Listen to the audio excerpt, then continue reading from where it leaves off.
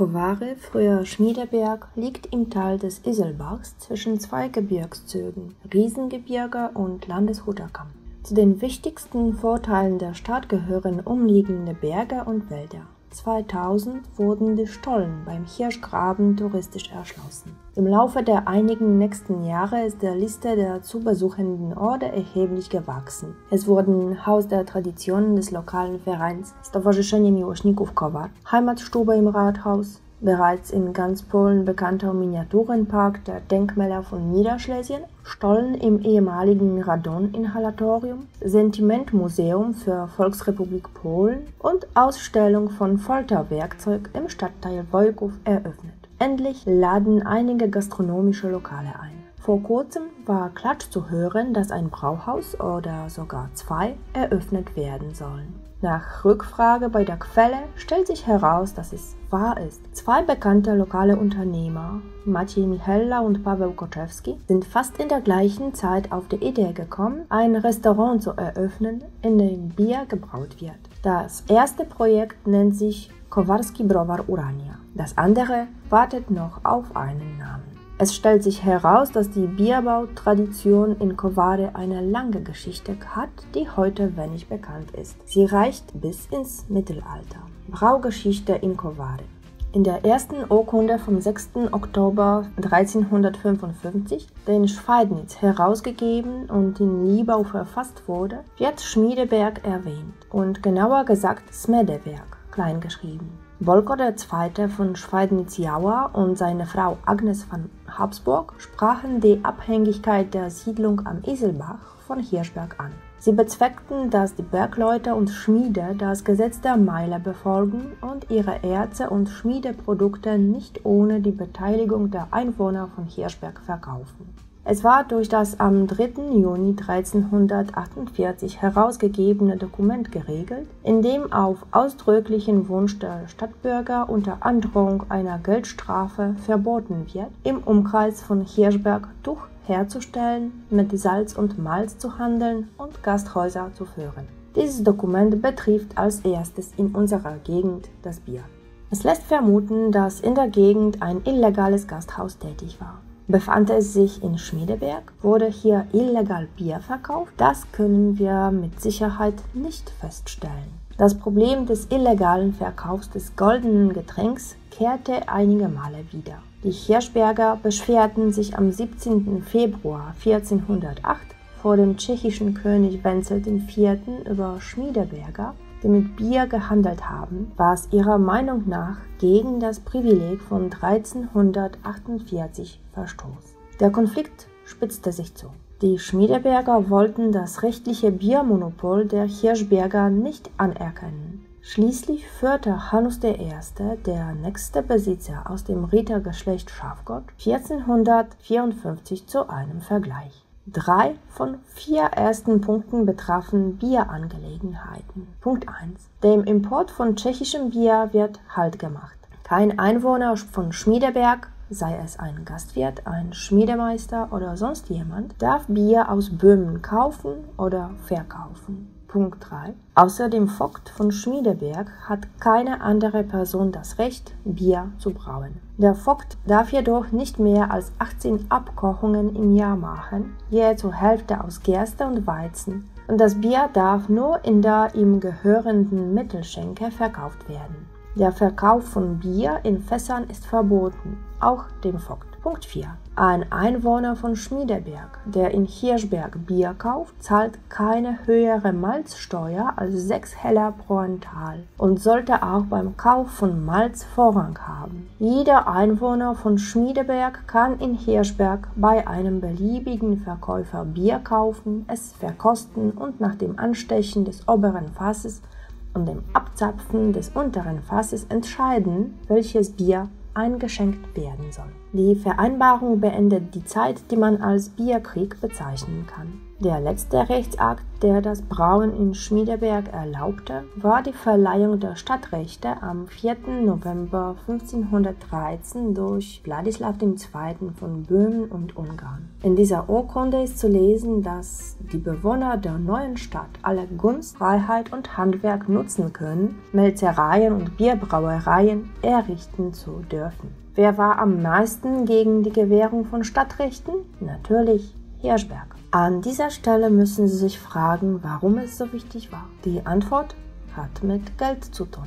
Das Brauen war im Mittelalter eine sehr wichtige Einnahmequelle. Damals war aber das goldene Getränk nicht golden. Die heutigen Biertrinker würden sich schwer tun, diese Flüssigkeit zu schlucken.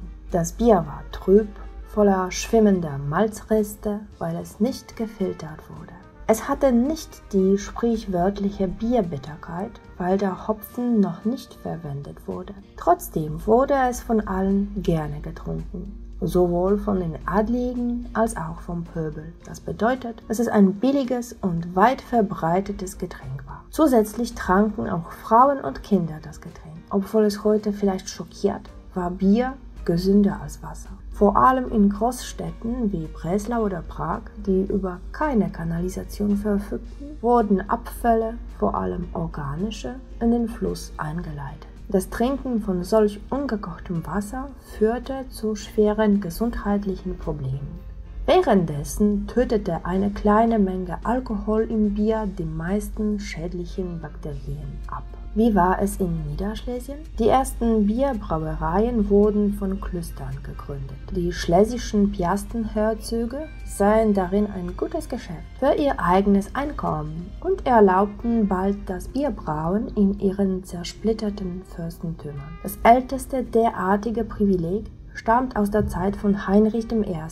im Jahr 1209 aus Löwenberg. Dies ist der früheste datierte Hinweis auf das Recht, auf polnischem Boden Bier zu brauen. Weitere interessante Fakten, die damit verbunden sind, ist der Schwur von Leszek dem Weißen vor dem Papst an einem Kreuzzug teilzunehmen. Dies ist der früheste datierte Hinweis auf das Recht, auf polnischem Boden Bier zu brauen. Weitere interessante Fakten, die damit verbunden sind, ist der Schwur von Leszek dem Weißen vor dem Papst an einem Kreuzzug teilzunehmen. Allerdings trat der Herzog später zurück, wegen Bier.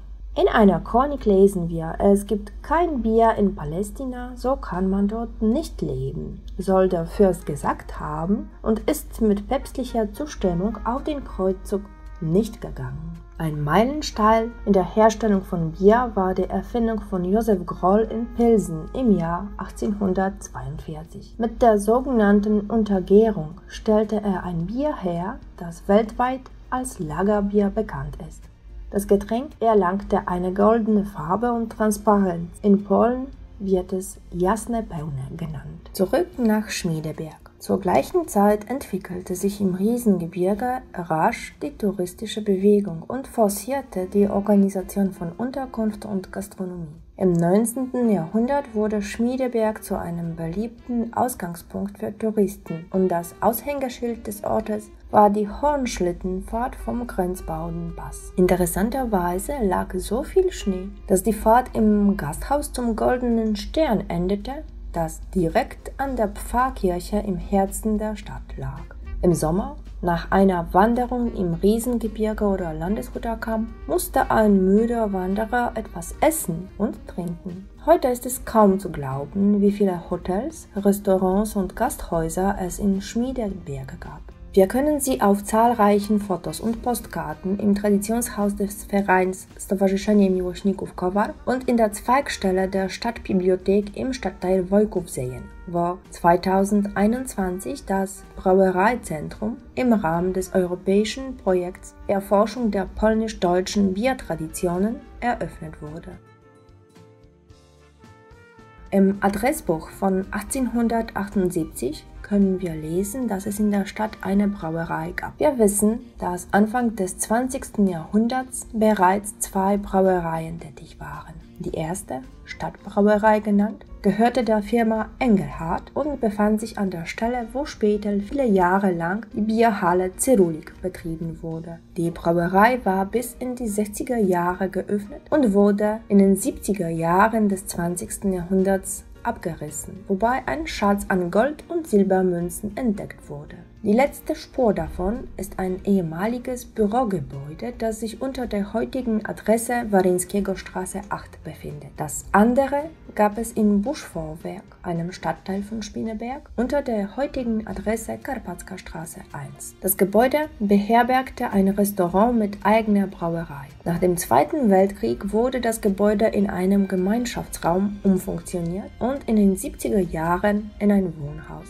Nach 1945 verwandelte sich der wohlhabende Touristenort in eine geschlossene industrielle Bergbaustadt mit sehr eingeschränktem Zugang wegen dem Uranerzabbau. Die Stadt wuchs schnell. Der Bedarf an einer großen Anzahl von Wohnräumen führte dazu, dass die alten deutschen Gasthöfe und Hotels in Arbeiterwohnungen verwandelt wurden. Auch die Trinkgewohnheiten haben sich geändert. Die neuen Bewohner bevorzugten stärkeren Alkohol, was auch durch ständige Probleme bei der Versorgung mit Grundnahrungsmitteln, darunter auch Bier, bedingt war. Diese Situation änderte sich erst nach der wirtschaftlichen Transformation zu Beginn der 90er Jahre. Bierbars schossen aus dem Boden wie die sprichwörtlichen Pilze nach dem Regen. Ausgehend vom Stadtteil Podgórze konnte man eine Tour um diese Trinkhäuser organisieren und dabei das ganze Kowary besuchen. Sicherlich gab es noch ein paar Orte, an denen man Bier trinken konnte, aber so tief